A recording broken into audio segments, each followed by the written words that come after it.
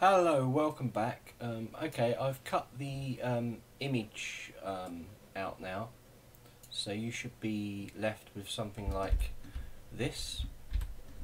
And there's one thing I've got to do, is just correct the bottom area, which um, isn't dead straight.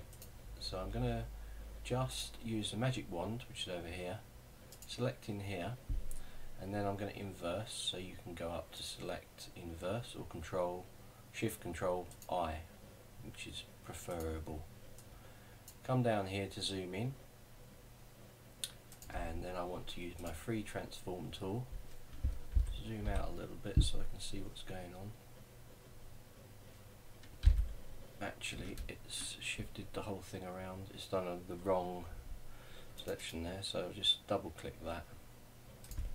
Go into free transform again and just straighten it it's quite hard to do it with the size that I've got for the YouTube video but that's good enough. Okay deselect it. Now just to check that everything's going in nicely I'm going to create a new layer. Let's bring this over here. Go to this little options box and new layer. And then I'm just going to click in a blacky colour and use the paint fill tool to just drop it on that layer I'm going to get the layer and move it down here. Then I'm just going to come in and just inspect it.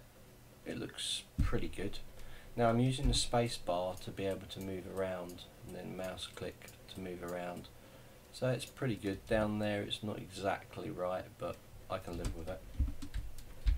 Okay, I'm zooming out now and I'm using a control minus, control plus to zoom in now I want to basically take this top layer into my design file.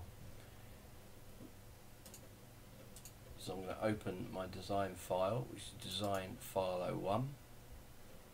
Drops in there. Now if you can't see the other file, it's because you need to come up here and just reduce both layers down. Now this is huge because the image is massive, so I'm going to go in and just change the image size down. Review actual pixels, you can see how big it is. It's huge. So you go to image, go to image size. Now we know the height of our um, canvas or our flash area is 600. So I'm going to make this 550 and then click OK. That will reduce this image down. Oh, hasn't done it uniformly. Oh, that's good. Um, need to make sure that constrain proportions is turned on and then 550 again and click OK. Now, making sure that the Buddha layer is selected, just use the move tool here, grab this and move it straight into our file. Now you can close that down and you can save that if you're going to go back to it. In this case I'm going to save it. I'm going to call it Buddha logo. Just shove it in there just in case I've got to refer back to it.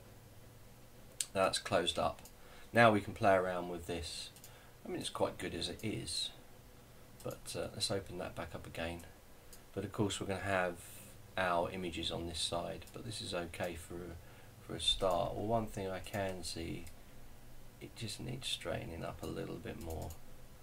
It's a little bit all over the place. That's quite nice.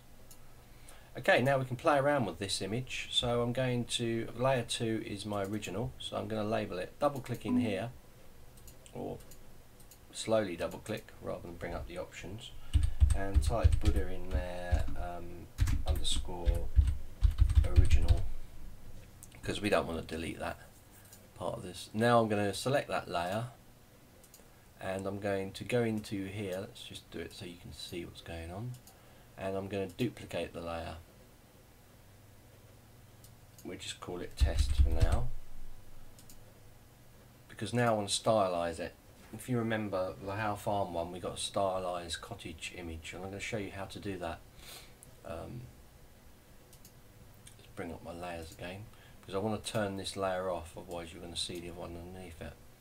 Okay, now I'm going to go up to um, image, and I'm going to go adjust, and I'm going to first of all desaturate it. Now I'm going to go into image adjust and levels. Now this is where I can play around with